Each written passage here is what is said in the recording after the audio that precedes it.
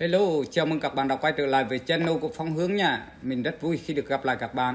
Thì cũng đã lâu lắm rồi mình không ra các video mới. Hôm nay thì à, mình sẽ làm một cái video chia sẻ với các bạn một số cái kiến thức à, đối với những ai thường xuyên ngồi trước à, máy tính để bàn, máy tính sách tay, đặc biệt là những người người thường xuyên làm việc với các cái trình duyệt internet, đặc biệt là trình duyệt Go Chrome.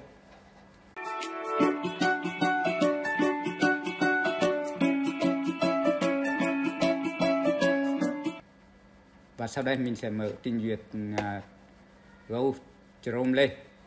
Thì như các bạn biết đấy khi chúng ta làm việc uh, trong môi trường internet đặc biệt là lượt web hàng ngày với trình duyệt uh, Chrome này thì uh, các bạn thường thấy xuất hiện rất nhiều cái quảng cáo.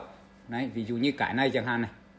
Và thường xuyên các cái quảng cáo này nó xuất hiện có thể trồng liên tiếp mấy lớp liền và rất gây phiền toái trong quá trình làm việc của chúng ta.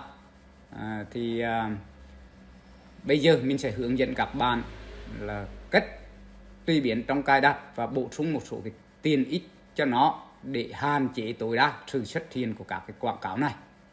À, thì à, đầu tiên thì các bạn cũng mở trình duyệt à, Chrome lên. À, và sau đó các bạn để ý phía góc phải của màn hình phía trên này, các bạn có dấu ba chấm này, các bạn nhấp vào đó. Các bạn di chuyển xuống mục cài đặt này. Và phía bên trái của màn hình, các bạn chọn vào cái mục quyền riêng tư và bảo mật này. Và các bạn kéo xuống dưới màn hình. Gần dưới màn hình, các bạn vào cái mục cài đặt trang web này. Và các bạn kéo xuống về dưới cùng của màn hình này các bạn nhấp vào cái các chế độ cài đặt trong nội dung khác này. Và đến cái mục quảng cáo này thì các bạn nhấp vào nó.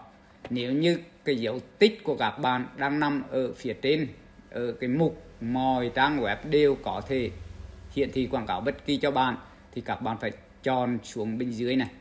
Đấy.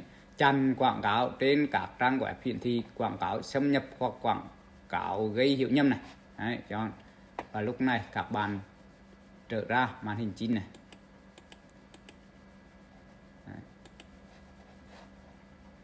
tiếp theo thì để hạn chế tối đa các cái quảng cáo đó thì các bạn phải thêm vào trình duyệt Go Chrome của mình một cái tiền ít rất hay rất hữu hiệu trong cái việc ngăn chặn các cái quảng cáo ờ, uh, rác các bạn thì các bạn vào trình duyệt Go hoặc các bạn gọi cho mình mấy từ à, để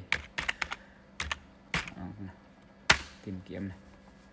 Và các bạn kéo xuống và vào cái trang chủ này. Và nhập vào. Và ở mục này chọn nó. Và các bạn bấm thêm vào Chrome này. Thêm tiền ích vào Chrome. Lúc này nó sẽ cài đặt cái tiền ích đó. Đúng không và các bạn thoát ra. Soạn. bây giờ các bạn vào trình duyệt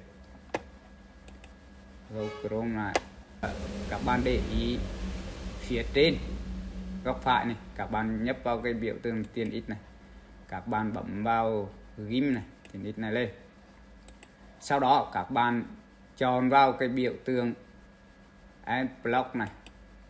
Các bạn vào mục cài đặt này. Đấy. nếu trong cái mục cài đặt đầu tiên của bạn mà không có cái dấu tích ở đây thì các bạn nên tích vào cái dấu tích này. Đấy. Đấy, tích cho xong bắt đầu các bạn thoát ra. Màn hình chính. Như vậy là quá trình bổ sung cái uh, tiền ít, and block option này là đã hoàn thành.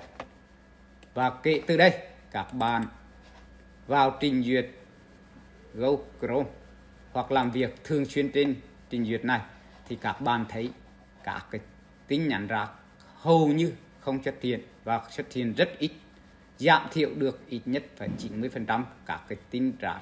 Nếu như các bạn trước kia không bổ sung cái tiền ít này hoặc là không tùy biến đầy đủ trong các cái cài đặt của mình. Và video của mình hướng dẫn các bạn là chặn các cái quảng cáo rác trên các cái trình duyệt Google Chrome này.